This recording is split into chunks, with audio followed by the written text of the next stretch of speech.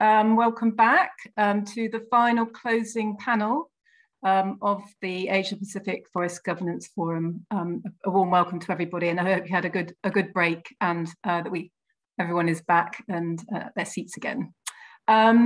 This is, as, as um, hopefully most of you know, as you've joined us from the, the previous two hour session we just held, this is the final session of our four day forum um, being held as part of, the, of this, um, our wider Asia Pacific Forest Governance Project, which is aimed at strengthening non-state actor engagement in forest policy processes in Indonesia, Malaysia, Philippines, and Papua New Guinea.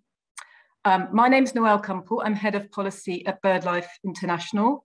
Uh, BirdLife is the world's largest nature conservation partnership. Um, we, we always struggle to keep track of the number of partners, but we're currently 118 partners in 115 countries around the world, um, and three of those are part of, our, of the project I just mentioned. This session is going to fo focus on key messages from the forum and the way forward for the next decade. Um, Though I also like to remind you that of what we set out to look at during the course of the forum in the opening session, which is the role of inclusive and effective forest governance in achieving an equitable, carbon neutral and nature positive future. So now we're going to bring things back up from the local up to the global scale um, to see how what we've discussed um, applies to, to these wider um, climate, nature and, and people global, um, global goals. So just some quick housekeeping points. We're mainly going to have a panel discussion, but if you've got questions, as before, please put them in the, the Q&A and um, we can try to answer them as we go along. And then we'll also bring those into our report back from the, from the, the overall forum. So do put comments or questions in there. Um, and the session's being recorded. It will be made available on the CIDT um, and BirdLife YouTube and websites. Um, and it's uh, uh, there is simultaneous interpretation to French and Bahasa if you if you'd like to use that. The functions at the bottom as well. And for the social media, we've got the hashtag FGF Asia Pacific. So just to remind you about the original aims of the forum was to provide a platform, space and voice for non-state actors of different kinds, so Indigenous peoples and local communities, community-based organisations, NGOs and the private sector, who are involved in forest conservation, monitoring and governance, and then to share key insights, learnings, experience, expertise on achieving equitable and effective forest governance, as well as some of the, and this is quite important, some of the challenges and complexities. And we want to obviously be honest about, uh, about these experiences in that context. And then to help influence policymakers, governments and donors um, on these topics, particularly in proximity to the key uh, upcoming global meetings on climate and nature. So it, next month we have the high level opening of the UN Convention on Biodiver Biological Diversity's COP15, uh, where we're coming to the end of negotiations on the post-2020 Global Biodiversity Framework.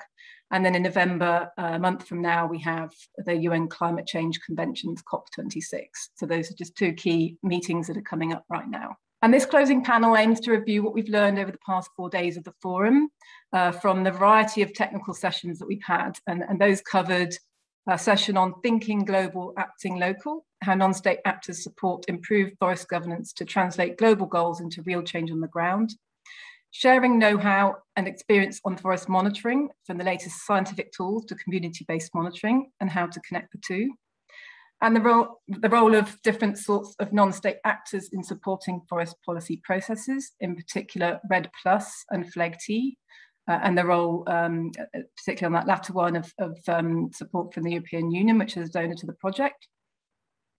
And just now, we've been looking at how we sustain change for the coming decade um, with some really great presentations that, that many of you have just, just seen.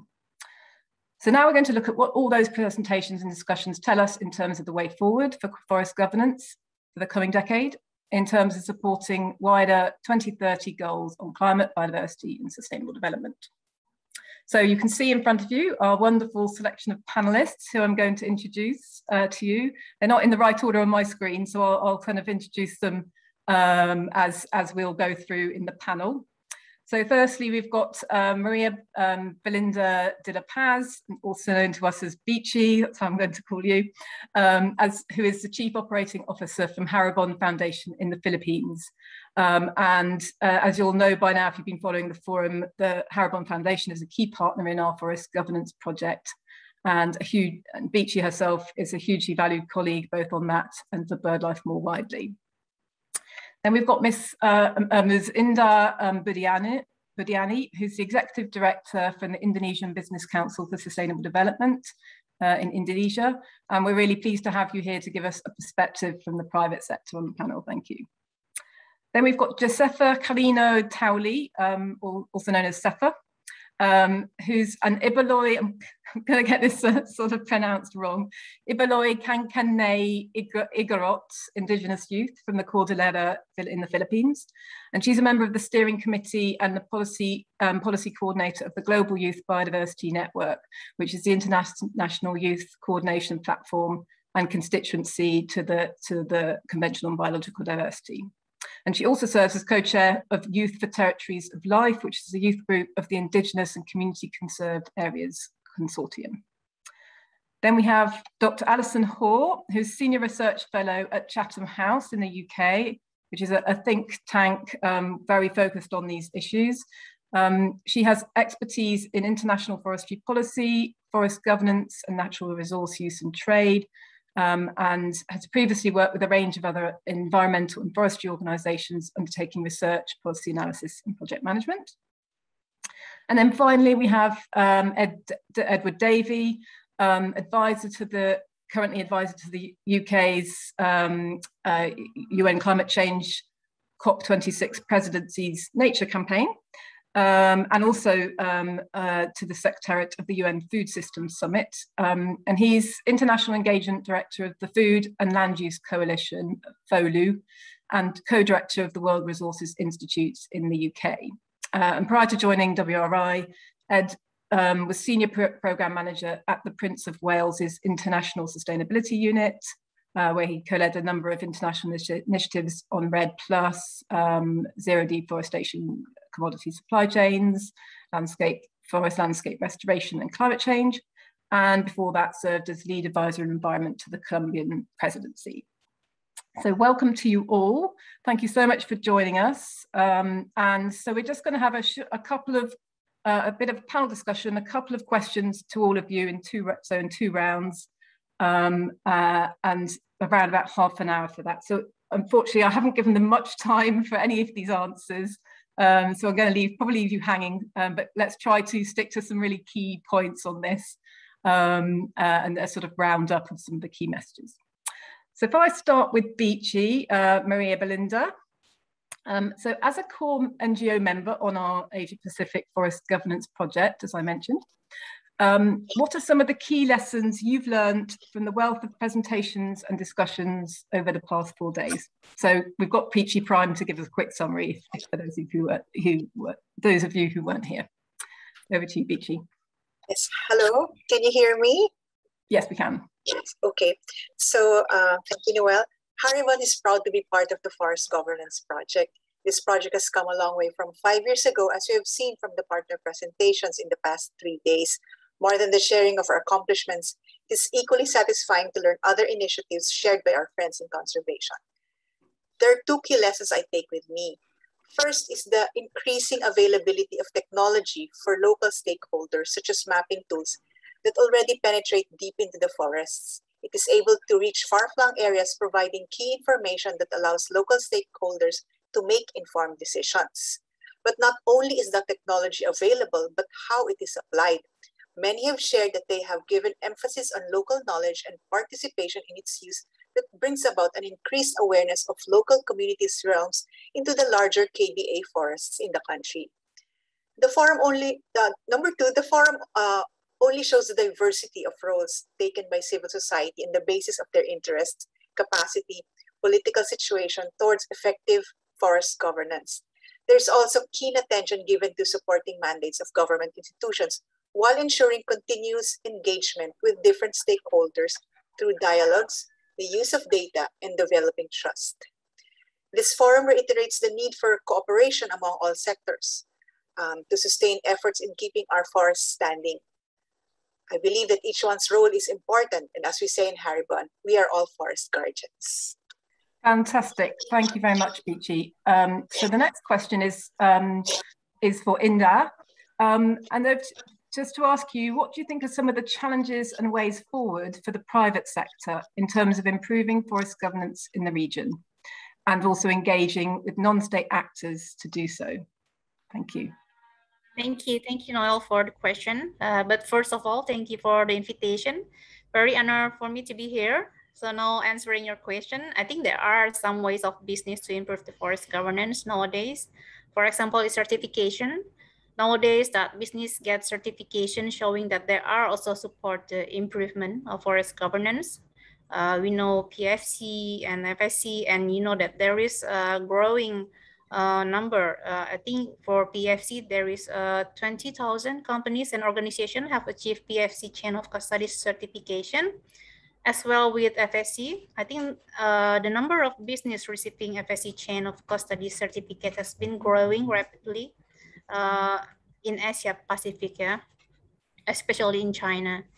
And also uh, traceability. I think this also becomes the issue for sustainability in Indonesia, we have SVLK, Timber Legality Assurance System, that serve to ensure timber products and raw materials obtained uh, or derived from sources that its origins and management meet the legal aspect, it will risk uh, the legal aspect. So I think it will risk the business itself if the company give false information to public, because now we have methodology to ensure that the company use uh, sustainable material for example, IBCSD also promotes sustainability policy transparency toolkit, uh, which is SPOT.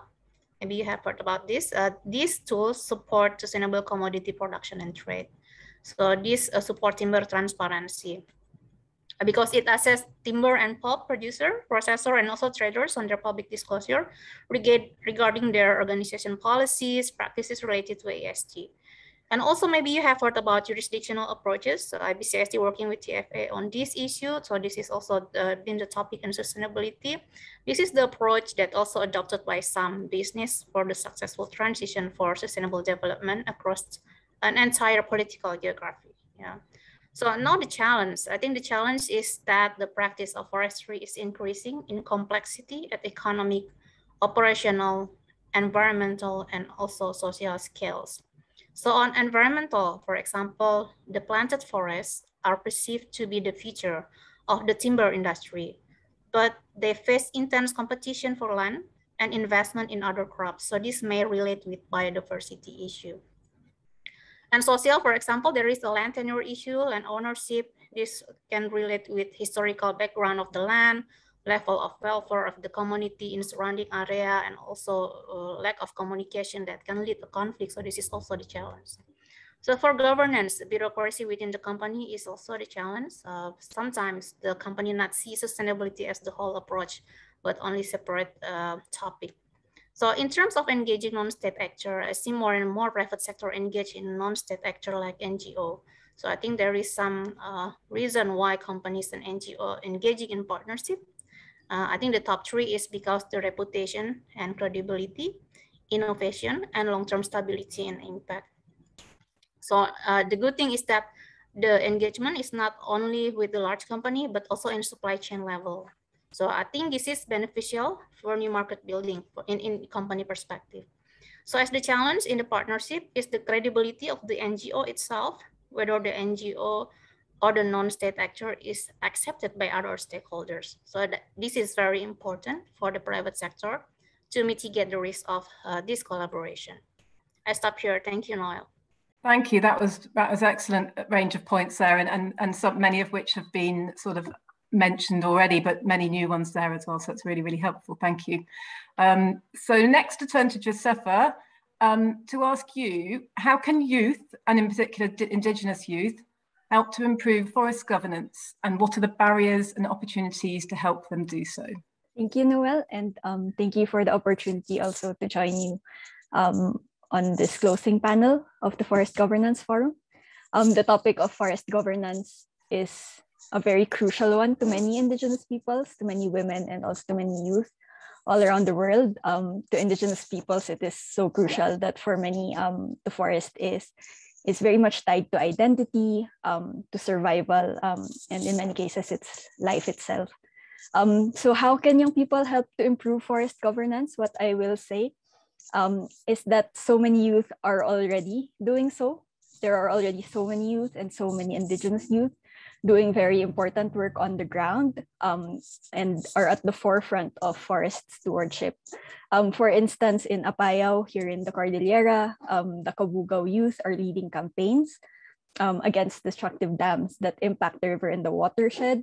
Um, there are young foresters doing community work um, who have a very strong sense of equity and are doing and are working in service of the communities that they are in partnership with. There are youth at um, the local, national, and global levels that are really advocating for better policies um, and that are working to engage in decision making spaces despite the many challenges to do so.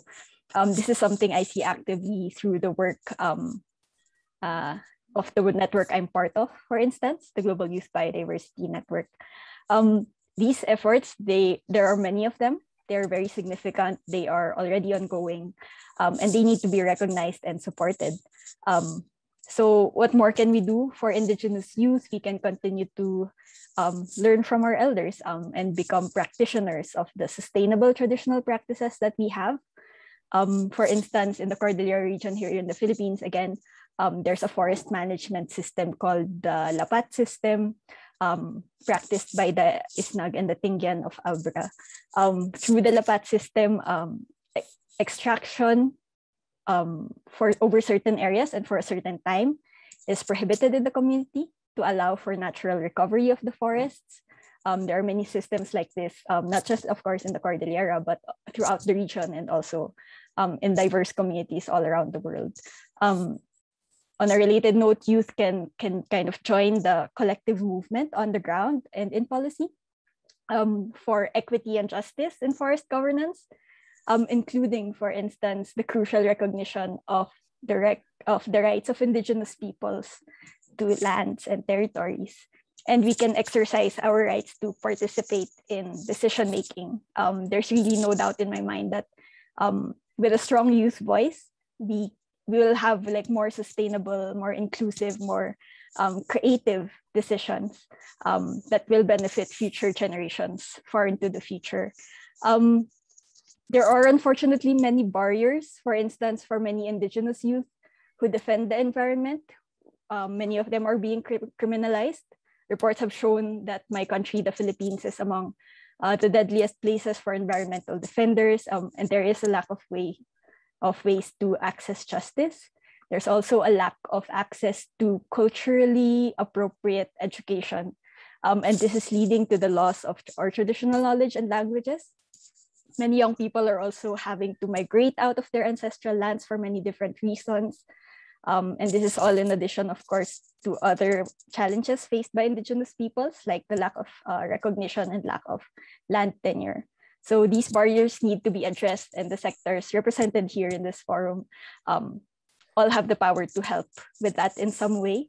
Um, just one more short point um, for youth at large, it's quite important to discuss what meaningful engagement looks like. Um, unfortunately, many young people are still being tokenized, and we need to take uh, more concrete steps towards meaningful and respectful youth engagement. Um, and I'll stop there. Thank you, Noelle. Excellent, thank you. That was yeah, covered some really key important points, and actually echoing some of the opening statement points there on on some of the challenges for in terms of access to justice and, and rights, etc.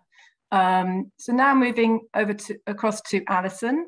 Um, so just to ask you, in your decades of reviewing forest governance around the world, including through running the internationally renowned Chatham House Global Forest Governance Forum series, what do you think are the key challenges for REDD Plus and FLEGT in the coming decade, particularly for the Asia Pacific region, where the threats to forests are particularly acute um, and, and in terms of looking at how non-state actor engagement uh, can help. Quite a large question there, but uh, give you that challenge.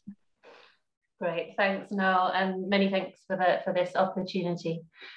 Indeed, it is a, a large question, so I'll give a, fairly broad answer perhaps. Um, so I think the, the key challenges are, are political. You know, we live in a world of increasing uncertainty as has been all too apparent from the COVID pandemic, as well as the extreme weather events and forest fires that have been seen in the Asia Pacific region and beyond.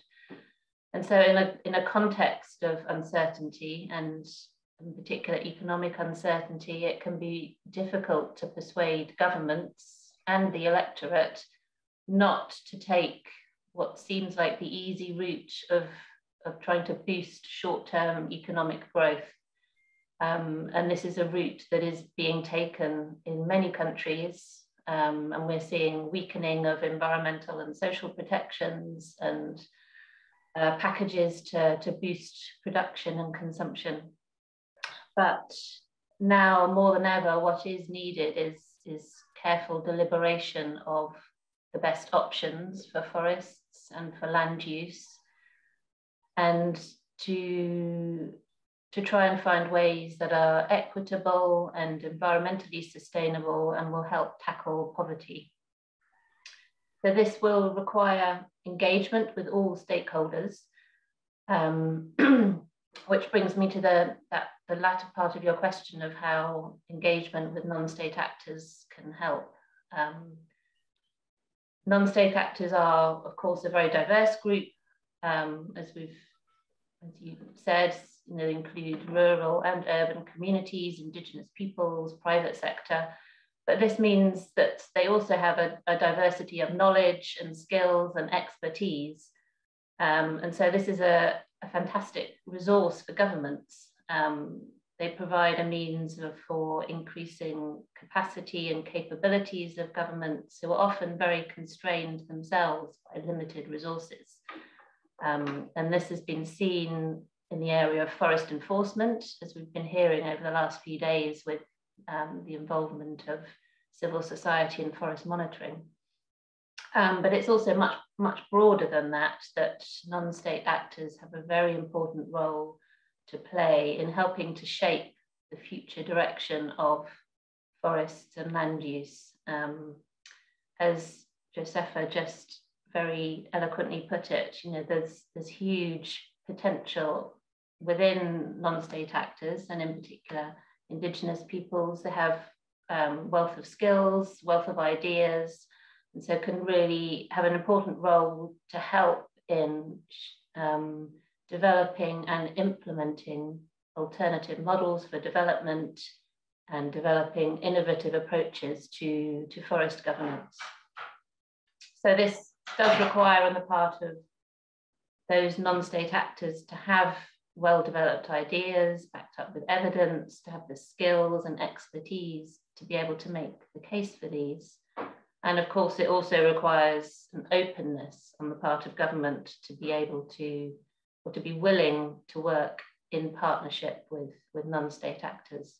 But I think there are some really exciting and um, positive examples of that starting to happen. So hopefully we'll see more of that in the coming years. Fantastic, thank you. Yeah, that, and that, those are really good points building up, building off um, off Josefa's. So really, really helpful there. Thank you, Alison. Um, so now finally over to Ed um, to ask you another mega question. Um, but uh, look, given that strengthening forest governance and define, designing um, effective strategies has potential to develop a global forest restoration movement which aligns with achieving the climate targets of the Paris Agreement, the Sustainable Development Goals, and the proposed targets of the Global Biodiversity Framework that I mentioned. Um, we need all those things to come together to support an equitable, carbon neutral, nature positive future. But how do we ensure um, uh, the necessary synergies between forest policies and processes and action uh, and action on nature and climate change? Um, and for you, as in your role as, as, uh, as advising the, on COP26, um, will this be on the agenda at the UN Climate Change um, COP26 in a month's time? Thank you, Noelle, and greetings, friends and colleagues. It was wonderful to hear hear you speak about the amazing work that you're doing on the ground, and it, it's always an honour and a joy to be with you. And great love and respect for BirdLife and all the wonderful work you do. Um, Noelle, thank you for the opportunity. COP26, friends, I think is an amazing opportunity to land good work in this area. And the reason I say that is that the UK government is very clear that this is a nature COP. It's a COP where the role of nature in mitigating climate change, but also in helping the world to adapt to the changing climate that's already underway, is being given somehow more prominence in the agenda than certainly I can remember ever before. Um, for example, you know, on the first and second day of the COP, when 130 world leaders are expected in Glasgow, this is the single biggest meeting of world leaders in person since the pandemic began.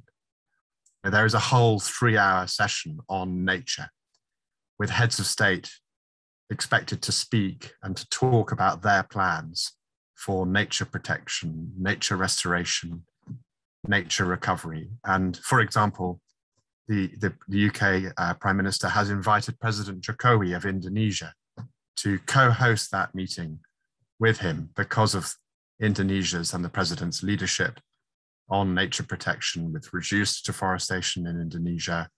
Uh, and yesterday, I think more commitments on mangrove protections and restoration. Uh, but also there are invitations to the other countries represented here today. And every country has been asked to come to COP with ambitious nature plans and commitments. Those include a commitment to a potential World Leaders Summit declaration, uh, which would uh, see countries making commitments to nature protection and restoration, to better agriculture, to increased finance for the natural world. Uh, there's a commitment anticipated on the Forest, Agriculture and Commodity Trade Dialogue, which involves 30 countries over the last year working together to try to come to a new agreement about how countries that are producing tropical forest commodities, uh, agricultural commodities, can be rewarded for more sustainable practice. And in return, consumer countries get access to sustainably produced commodities that are better for local people and also better for the environment. Uh, there's a statement foreseen on agricultural policy and you know how, how to reform or repurpose or redirect agricultural policies and subsidies and systems uh, to deliver better outcomes for people, for climate, for health and the environment. Uh, we also anticipate at the COP lots of work on indigenous peoples, their rights, their rights to their land, land tenure, you know, good governance. How do we support forest communities, indigenous peoples to uphold and respect and, and safeguard their rights to their land. We also anticipate statements on, on what public government money can do to support these objectives and also what global flows of finance can do from institutional investors and from banks and pension funds and the like. So in summary, and of course, we expect governments to come to the COP with, with strong NDCs, nationally determined commitments, which are good on the environment and good on land use and on the ocean. So I think in summary, you know, there's a lot to play for from the point of view of policy at the national level at COP26. But of course, the most important thing is what's happening on the ground in, in the ecosystems that matter. And I think that's where the work that you and the network is doing is so powerful. Back to you, Noelle. Thank you. No, that was fantastic to, to give us that suite of activity happening there at the COP. And indeed, exactly what we want to be thinking about here is, is how is our work relevant to that? And I think that's very, very clear from what you've just said. Um, so yeah, we haven't got long um, rattling through. Um, so it's kind of, um, I'm going to attempt to bring these things together in a bit, but um, for you guys now, just one to two minutes each, and the same question to everybody, um, given the proximity to those key upcoming global meetings on climate and nature we've mentioned, and what you've just heard about what the, the, op the opportunities for COP26, um, from your particular perspective, what key message would you like to send to policymakers, governments, and or donors regarding the role of forest governance in contributing to an equitable, carbon neutral, nature positive future in the Asia Pacific region and beyond. So just a minute or two each just to sort of think about a last take home point for us to consider. And if we go in the same order, just to start with you, Beachy. For me, uh, policymakers need to support policies that clearly, clearly define how countries develop in light of today's environmental crisis, beginning today we can no longer put off legislation for the next generation to enact in order to solve today's problems. This generation needs to commit and take action towards solving today's problems. Excellent, super. That was certainly to time. so um, over then to you, Indah, for your key point. Okay, so I think the role of forest governance in contributing to an equitable, carbon neutral, nature positive future in everywhere, not only in Asia Pacific region, is obviously very important. So looking from the private sector perspective, everything that comes from forests needs to be ensured of the sustainability of the raw material of the resources itself. And it can also relate with water availability, soil management, and so many things. And without this, the business will collapse, yeah. And even for non-forest uh, sector business, such as from agriculture to transportation, they also need a supportive climate regulations, a good climate. And I also believe societies also need a good climate regulation. And forest definitely plays important role in this because forests give livelihood. So my key message from business perspective is we need a joint action to help the forest sector navigate the tremendous challenge that lie ahead and ensure that this industry continue to grow. Fantastic, thank you. And then so over to you, Josefa, for your next in line for your thoughts. Uh, thank you. First of all, a very key message I would send um, is that we need to recognize and respect um, the central role of indigenous peoples and local communities in sustaining forests, um, and that these very significant contributions extend far beyond the territories in which they live.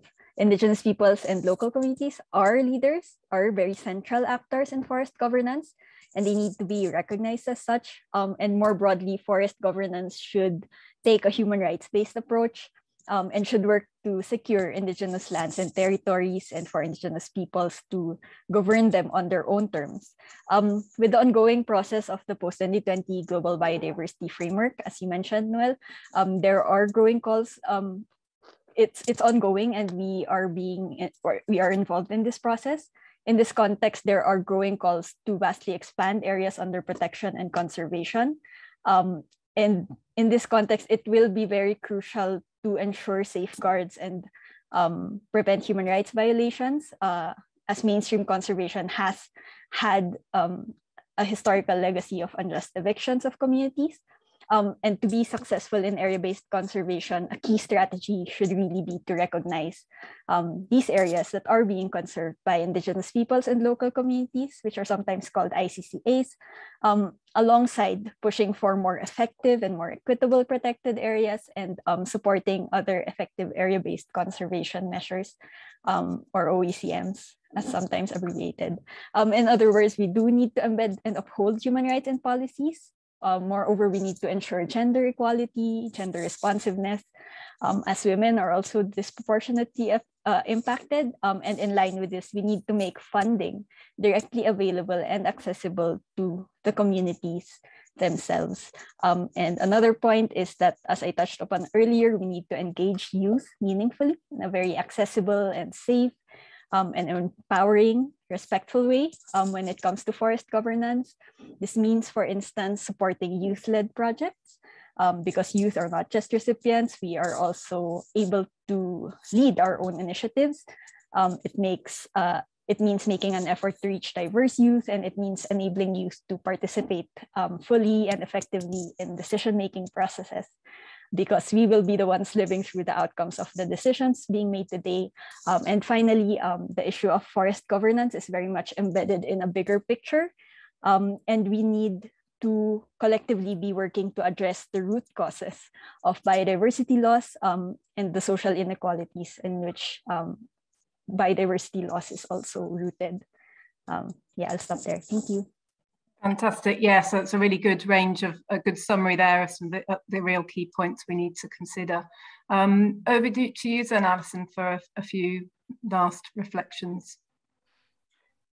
Yes, I think my main message would be that we do need to make sure that we don't just focus on targets and we go beyond targets. Um, you know, experience has shown that it's all too easy to set targets, whether for stopping deforestation or um, conserving a certain proportion of the land or committing a certain amount of finance. Um, but the, the big challenge lies in actually making these targets become reality.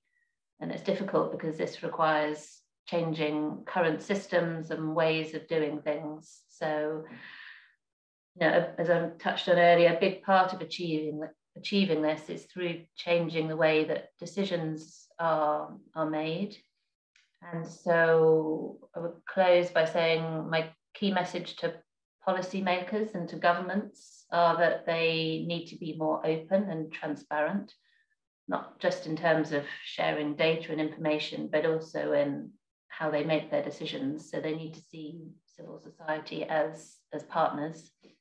And the message to donors is a simple one that they need to provide the finance to help make this happen. Thank you, Alison. Yes, very good points there at the end. Glad you said that. Um, and uh, then finally over to you, Ed, um, for your last thoughts. Thank you, Noelle. And um, I, I, see a question from uh, Habib Ben Mohammed about how you raise funding sustainably for independent forest monitoring. And I think that uh, that comes to Alison's point about more donor money being on the table uh, to support that kind of work, but also national government funding you know, uh, it's in a government's self-interest, I would argue, for there to be good independent forest monitoring. Um, so a combination of national sources and global ones, I would argue, are needed. Um, concluding thoughts from me, Noelle. Um, I agree with, with what everyone has said. Uh, I was very taken, uh, Josepha, by your remarks. Um, and I hope that uh, you're engaging with the COP26 process and, and colleagues. And if you're not, do do let me know. We'd, we'd like to hear more from all of you. Um, I think three thoughts from my side. The first is, you know, how, how do we get heads of state to really speak to this agenda and, and own it in some way? How do we touch the hearts, not just the minds, but the hearts of, of heads of government about nature? And I think uh, the COP26 is one opportunity to do that at the World Leaders Summit. Um, there will be some quite moving, you know, video installations from good work happening on the ground and voices from all of your countries there. Um, but I think we need, as a community, to get better at reaching heads of government about the importance of nature. The second point is is not all about national governments. You know, there are much more influential voices in the world beyond national governments, whether it's heads of companies or people in public life, celebrities, uh, and the like, uh, but also um, you know movements, you know unions, um, sectors. Um, you know, there's there's a lot to be done to to build a broader movement for change, um, and I think uh, you know we, we, we as a community could do more to mobilize a broader um, set of actors in support of our objectives. Uh, but then the third and, last point from me is that whilst we try to shift the world in a better direction and use processes like COP26 to do that, um, you know, perhaps the most important thing we can do right now is, is work on the ground in the places that matter and uh, work in partnership with local communities on the front line. Um, and I think it's in that context, therefore, that um, the work that um, you and your networks do is just so incredibly important. And uh, the responsibility of all of us is to get behind that work on the ground and support you. Back to you, Noelle. That was fantastic. Um, really, really helpful and insightful comments and picking up on the threads of our discussions um, uh, and, and much more, bringing in some, some, some new and important areas, which I'm pleased we've managed to touch on here. Um, I think I'm going to have to apologise that with the, you know, the very limited time we have in this session, um, I haven't been monitoring the, the Q&A, um, but I'd also urge you guys, whilst I talk for a little bit, um, if there's there's um, comments and questions in the in the chat there, in the Q&A function to have a little look at that and if there's anything you can address, please have a look in there.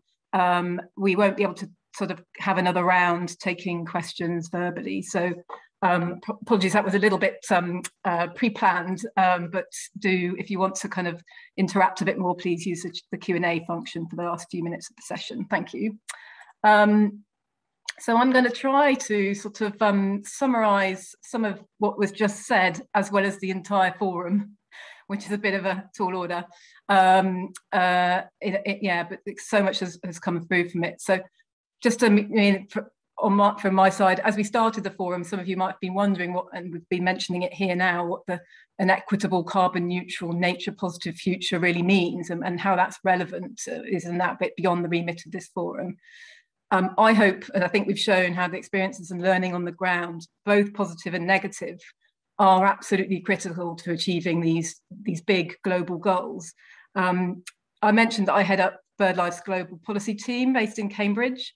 Um, and a key part of our work is, is, is engaging with these global conventions and policy processes like the CBD, the UNFCCC, and increasingly mechanisms like the High Level Political Forum on Sustainable Development and the Human Rights Council, again, ones which are often a bit out of the reach of, of some of our, our kind of, some, some people on the ground, I guess. Um, so while we work closely with BirdLife partners to advocate improved policies and support implementation of those processes, um, both at the global and, and, national levels, and we try to learn experience, learn from those experiences on the ground. There can still, still seem to be a real disconnect, um, and uh, for, for many others on the ground, without that wider perspective and reach, uh, struggle to kind of understand that local, local to global approach, and it's therefore much more challenging. So I think that's why this forum, um, and as many of you have said in the chat as we've been going through for the past few days, um, has been so important in sort of trying to bridge that gap. Um, we've had an enormously rich and insightful range of presentations and discussions over the course of the past few four days, and thank you all for that, um, both presenters and participants. And there's a lot for us to learn from that and take into account in the upcoming global negotiations and conversations, um, uh, as, as we can see. So just to summarize a few of the key points that have come out of those discussions and just now, and, and um, I might try and flag a few people, but apologies for only pulling out a few examples uh, in terms of a lot to, to pull out quickly. Because um, we, we started up with a reminder that the forests in, in uh, so in the Asia Pacific region, both forests and forest policies are fragmented, and we need to work to join both of those up. And that means action across society, linking up all sorts of non-state actors um, with governments and as well within government ministries as well. And it's important to understand the context. So while the majority of lands in Papua New Guinea, for example, are community managed, in Malaysia, they're predominantly state owned. So that means a very different role of non-state actors and a different process for, for tenure, rights, and the oversight of policy implementation in those different contexts. But so while it's important to understand that particular context and the different legal frameworks, there are a number of principles, needs, and challenges that are, are clearly common in helping us to bridge this local to global gap. So firstly, partnerships are key. So those between non-state actors, including the private sector, and with governments. And while we uh, um, appreciating diversity, also looking at that um, commonality between us. There's a huge potential for improved technology. Um, we've heard about some of the global tools and platforms, uh, all the way down to phone apps on the ground. And as Beecher just mentioned, you know, making that connection is really key. And with that's, that side of things is developing quickly And into something we can use and we need to be building on over the next decade. Um, there are um, uh, a number of improved systems and processes to ensure transparency and accountability but we've heard about some of the complexity and the kind of level of detail that's needed um, uh, on that side. Um, the importance of starting small and ensuring we've got the right sort of technical support and then scaling that up um, was, was highlighted in particularly in the session just, just now. And the need to sustain commitment and support. Um, so for example, we heard about some of the challenges with FLEGT, um, and that's quite a live discussion in, in, the, in the EU at the moment. Um, but you know, clearly we need to learn from the challenges we've had, but continue and strengthen that. Um, and examples from Cambodia, for example, other places looking at where projects often take a long time to get established, but that that sustained support is really critical um, for, for success. So in terms of the bigger picture, it's not just about targets, but implementation. I think that was made very clearly just now. Um, and the very start, we heard that a fifth of key biodiversity areas, so Ed just mentioned, you know, focusing on the important places and working with pe people to that end. A fifth of key biodiversity areas fall within Indigenous peoples' lands, and we've got major overlaps there with high carbon areas. So conserving those lands with and for people, local people serves multiple goals at both local but also global scales. And that's important in the context of these proposed targets to expand protected and conserved areas under the Global Biodiversity Framework, which need to be much more, need to be um, equitable, but therefore will be more effective. Um, so that's that's something to definitely be thinking about as we test this new um, OECM approach that uh, Seppa mentioned. Um, as we expand, uh, well, the, the, likely um, target to expand protected and conserved areas to 30% of the planet. We need to take a landscape approach, providing economic benefits while buffering key biodiversity areas and sustaining ecosystem services that are critical for, for people and business. Um, we also heard some, ex some experiences from Central Africa, um, which highlights the global and intercontinental aspect to, to, things like illegal logging and illegal wildlife trade, um, and also um, looking at addressing the root causes of nature loss, so some of the bigger picture stuff. And where Indigenous people's rights are not legally recognised, deforestation is much higher, And indigenous peoples are being displaced or, or criminalized. So we need access to legal course, uh, recourse and, um, and justice, um, and where relevant, strengthen land tenure, which we didn't talk too much about, but is definitely something, to, you know, one, one, uh, one thing to, to be um, considering, as well as technical support and funding where necessary to, to local, uh, Indigenous people and local communities on the ground. For youth, we need to ensure meaningful engagement and recognise the role, their role in shaping and implementing alternative models of development and forest governance. Um, and just sort of touching on uh, something we also haven't mentioned, but actually of relevance in this global arena right now, um, the BirdLife Partnership, along with uh, around 1,300 other civil society organisations, is calling for the UN to recognise the universal right to a healthy environment. Um, we've got a, a, a campaign called One Planet, One Right on that. Um, but there's right now, the Human Rights Council are about to table this resolution um, at its, in, in the session, uh, the 48th session right now. And this, if passed, would provide a really a strengthened human rights basis for forest governance. So actually this is a really important uh, and could be quite transformational um, change in terms of human rights um, uh, um, um, aspects to, to this work. Then we talked about the private sector, which uh, needs to be part of the solution. It has the power and both and the need to do better as it has risks to business, if not, we just heard. Um, and in the open session, we heard about the new tropical timber accord being, uh, which is going to be launched at COP26 to provoke, promote forest governance within an international framework. Um, we've also heard about increasing certification and transparency um, for example, the SPOTT tool and, and how to, and engaging with um, local, the need to, for businesses to engage with local stakeholders. And we did, we've talked just now actually about the context of COVID, which we shouldn't forget about, the need to ensure that governments don't take shortcuts uh, in, in building back um, and that they really support a truly green, just recovery um, and not taking those shortcuts that um, Alison mentioned. Um, governments need to be more open and transparent, um, and donors need to support that, but both thinking of finance at not just at the global level, but also national level government finance. So basically, um, for me, I think it's been absolutely a fundamental you know, uh, lesson from this, this forum has been the importance of sharing all these lessons between ourselves, but also taking that uh, forward to donors and governments. Um, so um, underscoring the importance of this, this forum to make sure all of your voices are heard.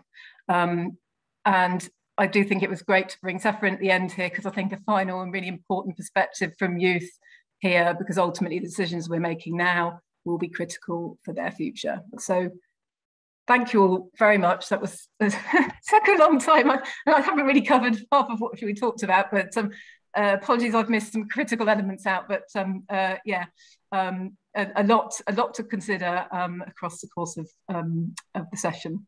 So now um, it's, I'm going to hand over to um, Hum Gurung, who's the manager of the Asia Pacific Forest Governance Project here at BirdLife, and also part of our Asia regional office. Um, to um, give a few closing remarks from our side. Over to you, Hum. Uh, Mr. Oswald uh, Braken, uh, Tisen, Deputy CEO of Sarawak Forest Corporation, uh, distinguished panel members, ladies and gentlemen. Good morning, uh, good afternoon, and good evening. First of all, I would like to thank all participants who have attended the four-day event and shared their experience and insights on forest governance and in the Asia Pacific region and internationally. About 625 people have spent over 10 hours in the, in the last four days learning and sharing about better forest governance, forest monitoring, and the empowerment of local and indigenous people in forest management and governance. As Noelle had just mentioned, now with 22 technical presentations and two high-level panel discussions, We'd like to thank all the you know session chairs, experts, and presenters. On behalf of BirdLife International, as the project lead, I'd like to thank CIDT, in particular my colleague Richard, Danny, Habiba, Russell, and Nicole, who have coordinated and supported uh, this forum so well. The forum has benefited from the interpretation skills of Margaretha and Bashir for Basha, English, English Basha, and Andrew and Fevini for French, English, English, French. Thank you so much. Thanks to our project partners, uh, Burung Indonesia, Malaysian Nature Society, Haribon Foundation, Tenkile Conservation Alliance, and the University of Papua New Guinea for the smooth coordination and contributions. Also thanks to my BirdLife team, Oshendra, Jonathan, Daniel, and Nitu, uh, also Noelle and Bena for the support and guidance. The inputs and the contribution we have received from inter international experts in forest conservation, policy and advocacy are of great value for the forest governance project and which will help shape and form strong outcomes for us to report. This week provide, has provided an important space for discussing, debating, and sharing knowledge on effective forest governance principles in the Asia Pacific regions and beyond. We have heard from non-state actors of all kinds, representatives from government, the private sector, NGOs, and advocates for local community and indigenous people's rights. The first technical you know, session on day one explored both you know, global, regional, and local approaches in improving forest governance, biodiversity conservation, and climate change mitigation. The second uh, you know, session focused on the value of scientific tools and data sets, together with monitoring on the ground for improving transparency and accountability and drive effective forest governance Knowledge was shared on GIS-based you know, mapping tools for identifying forest loss, app-based tools that empower local people as forest guardians and connecting large data sets with monitoring on the ground. On day three, our focus shifted to exploring how to bridge the gap between public and private interests for effective governance. We were reminded of the important role of indigenous peoples who play in forest monitoring and heard how the private sector contributes to conservation action locally and explore the value and changes of forest law enforcement. Finally, today, we have just you know, considered how the tools, resources, and relationships found within the forest governance system can be sustained for the coming decade and how it can help meet the wider environmental targets we face. Ultimately, the Asia Pacific Forest Governance uh, Forum has brought together a great variety of different voices involved and associated with forest governance. We have tried to better understand how together we can achieve fairer, more sustainable and more effective forest governance. The Asia Pacific Forest Governance Forum has been held in the spirit of questioning, discussion, debate, and collaboration if we all take the spirit of this event forward into our own work and lives, we, stand the best chance of achieving a truly sustainable and effective approach to forest governance in Asia Pacific and internationally. Last but not least, I would like to extend special thanks to Mr. Daniel Ajej, Minister, Counselor, and Head of Cooperation, European Union Delegation to Thailand for delivering the opening remarks. I'm also privileged to welcome uh, Mr. Oswald Braken for joining us for the closing session of the forum. To you all, please stay safe and well. Thank you. Terima kasih. Selamat. Then you too. Thank you very much. Um, um, and now, um, uh, for, I would like to um, introduce uh, for, for, some final closing remarks, Mr. Oswald Braken Tisen, who's the um, Deputy CEO uh, from the Management and Conservation Division of the Sarawak Forestry Corporation in Malaysia. Uh, Braken holds a ma Master of Parks, Recreation and Tourism Management from Lincoln University, New Zealand, uh, and is a member of the IUCN World Commission on Protected Areas and the Crocodile Specialist Group, as well as the Institute Foresters in uh, Malaysia. Um, and he's going to give us uh, some closing remarks on behalf of the Malaysia government. Thank you very much, and over to you, Braken. Thank you, Madam Chair. Um, distinguished uh, panel members, ladies and gentlemen, very good morning, very good afternoon, good evening to some of us in this part of the country, of the world. Um, I would like to congratulate all the panel members for a very inspiring uh, session this afternoon. I listened to all of it with great interest. And of course, first of all, I would like to thank the Forest Government Forum Organizing Committee for inviting me to deliver, to deliver a closing remark on this first Asia Pacific Forest Government Forum. Um, I believe everybody knows that Asia Pacific is covered by 740 million hectares of forest, counting to 18% of the global forest. Um, the tropical forest of Asia Pacific is a lifeline of millions of people in this region and are the main contributor to national wealth in several nations, particularly in Malaysia, where it provides jobs, livelihood opportunities, and also today it is a destination for ecotourism. I'm one of the forest community where uh, forest to us as a forest community is in fact a supermarket. It provides us most of our need. And uh, anybody interested, we call it Tuan Torun. In short, Tuan is uh, Torun is nature.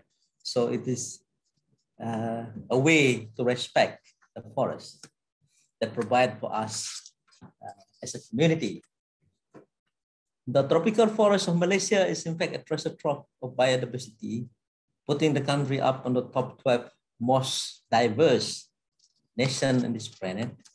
Malaysia, in fact, uh, have a diverse uh, uh, landscape, including, uh, you look at it, we have 55 IBAs, uh, which is recognized internationally. And Malaysian forests, in fact, a state matter the federal government, in fact, provide guideline for the state, but land matters and forest is state matter. And uh, it is the state government that decide how to use it or how to manage it or to protect it. Um, in a way, um, the state agencies together with the local the NGOs, community manage the forest. Um, we in Sarawak, for example, uh, manage our own forest area. Um, the state government had put a pact in its uh, land use policy where at least 6 million hectares, we have 12 million hectares in Sarawak. Half of it is to be to remain as permanent forest and at least 10% is to be totally protected uh, we subscribe to CBD targets. Of course, if you look at 10%, it's not what Aichi target is, but uh, uh, we do um, look at other uh, OECM in order to achieve the world target upon us.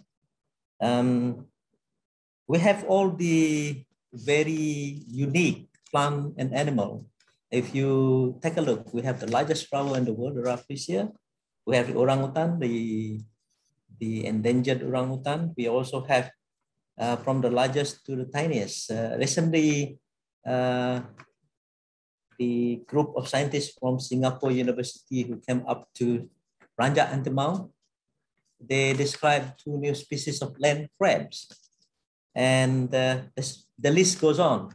So the concern is if we are not investigating and finding out uh, fast enough, we may lose something that we never know.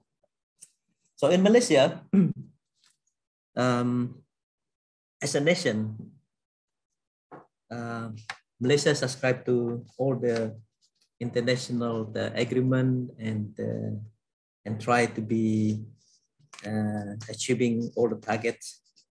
Um, we're looking at areas like in Peninsular Malaysia, the central the forest spine, and in Borneo, working with the other nations of Indonesia and Brunei, we put aside what is called as the heart of Borneo. We subscribe to to REDD plus and also try to make sure that uh, uh, we are getting toward uh, carbon trading and carbon credit in order to, to see that communities in the forest can also benefit from it. Malaysia is one of the Asia Pacific government uh, project country. And we have been working very closely in Sarawak. We have been working very closely with Malaysian Nature Society which is uh, collaborating with BirdLife in Malaysia for many years. And under the Asia Pacific Forest Government Project, we have been actively involving uh, in the in in in in the project. For instance, in Sarawak, a few years back, uh, Sarawak Forestry, together with the Malaysian Nature Society, organized what is called as the Honorary Wildlife Ranger Program and this program is in fact a voluntary program where the public or uh, NGOs would plead or subscribe or say that we would like to contribute to nature conservation. Uh, so forestry would give them a five days training to understand what it is, what it takes to be volunteer honorary wildlife ranger. And it is an honor because uh, they are not paid. Uh, what I describe as the heart, the head, the heart, and the hand. A concept of you understand it, you believe in it, you have to promote it. And these are the people which I call, or which we call as uh, ambassadors to conservation. They also work to become eyes and ears of uh, the government to help us to protect and to promote conservation uh, we have seen some of the active ones who had uh, sacrificed their time and their own money to promote conservation. Uh, for example, in Lawas, uh, we used to have people who hunt and consume dugong, dugong, dugong. Uh, when we promote honorary wildlife ranger there, we can in fact see that they are the ones who actively support conservation of dugong and other species. And if any of the marine mammals and turtle get caught in their net, they will release it and report it back to Sarawak Forestry, which is a good achievement. Anyway, um, Madam Chair, ladies and gentlemen, I would like to thank the European Union for supporting this project, uh, strengthening non-state actor involving in the forest government in Indonesia, Malaysia, Philippines, Papua New Guinea, uh, led by BirdLife International, and uh, partnered by Burung Indonesia, Malaysian Nature Society, Haribon Foundation, Philippine Tenkile Conservation Alliance, University of Papua New Guinea, and Center for International Development Training, University of uh, Wolverhampton, UK. Um, I believe it was an exciting and productive four days event and participated uh, and participants have learned and shared important uh, important transparency and accountability in forest sector and forest government and in, and uh, impact on livelihood. So forestry have members who also attended the forum. Um, the most important thing, of course, if what we do are transparent, uh, people will trust in us and also uh, there is check and balance of what the government is doing in also to ensure to ensure sustainability. So the importance of participation of civil societies in policy advocacy and forest monitoring progress, especially in the FLEGT, VPA, and plus development and the implementation with regional international approach is a new partnership across Asia Pacific. I believe that the Forest Government Forum has provided a platform, space, and voice for non-state actors, which will help to make difference for the coming decades and uh, sustaining change and maintaining the momentum to meet the challenges for better forest government.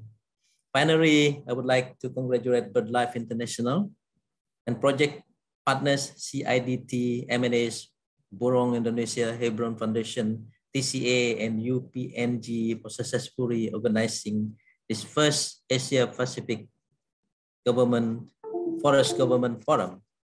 Um, the COVID-19 pandemic has a devastating impact. We have not seen tourism in Sarawak for almost two years. and uh, people like us have to work from home sometime. Uh, we do have meeting like this, but it is all very much visual. We are lucky today we have this sort of uh, technology to be able to enable us to continue to communicate. And uh, with that, I would like to say, keep safe, stay well, and declare the Asia Pacific Forest Government Forum across. Thank you very much. Have a good day, everybody. Thank you. Thank you very much there, Braken, and, and very wise words um, and collaborative words at the end there in terms of transparency, sustainability, us all working together. And it's been a pleasure working with you and to have you um, share those, those final remarks uh, and, and close, close the session and the forum today for us. So thank you very much. and to all the panelists and everybody who's been involved in this last session from me. So I'm just going to, uh, all it remains is for me to hand you over to Richard for some, some final wrapping up um, and some final remarks from, from CIDT. Uh, thank you very much from us at BirdLife um, for being part of this forum and we, will we'll definitely continue these conversations and take them forward. It's been um, absolutely brilliant to, to, to, be part of this in the last four days. So thank you all again for joining us. And over to you, Richard. Yes, uh, thank, Thank you very much, Noelle, and uh, thank you very much, Yum. Uh, wow, 10 hours, 650 people. Uh, that's a, a huge uh, achievement. I think at CIDT, we are very grateful of this uh, partnership that we have with BirdLife International. Uh, it has really been an interesting one, and we have enjoyed our work in the Asia Pacific region, and we certainly hope we have another opportunity again, not just to work with BirdLife International, but also to work with the wonderful organizations that are doing fantastic work in that uh, uh, part of the world. Uh, unfortunately, I also need to say a few thank yous uh, for uh, colleagues at CIDT and also colleagues at BirdLife uh, who have been working a lot behind the scenes, not just over the past four days, but also over the past sort of several weeks, probably 18 months or so. So firstly, I'd like to say uh, thank you to Habiba, Danny, Russell, and Nicole, who have been behind the scenes, uh, sort of working tirelessly to make this event a success. Uh, obviously, I also want to thank the interpreters. Uh, they've enabled us to uh, reach a wider audience with their fantastic work in uh, providing interpretation. The session chairs did a fantastic job, but most importantly, this event would not have been possible uh, with the presenters that have come from all over the world, uh, bringing in sort of fantastic experience and sharing a very good example of the wonderful work that is going on around the world.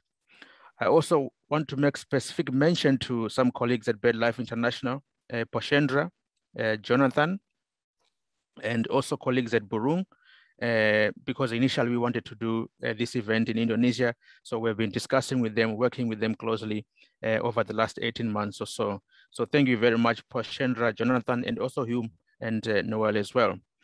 Uh, but lastly, I want to thank the, the participants of, all the people that have joined in to listen in and to participate uh, in this event. Uh, it has been wonderful. Uh, the engagement has been very positive and a lot of people have given us uh, uh, good messages of encouragement. So we appreciate uh, you spending your time, 10 hours listening to all these presentations. thank you very much for joining in, Terima kasih. yeah, just to finish off, I would like to remind you and urge you to fill in the evaluation form. it will be sent to all participants by email, but it is also available in the chat box. Please give us your feedback. It is very useful and we very much appreciate it. It's the only way we can improve uh, these events in the future. Uh, lastly, uh, all the slides will be available on our website and we also will make arrangements for them to be available on the BirdLife website as well. So if you have missed any of the sessions, Uh, the slides and everything will be available on our website.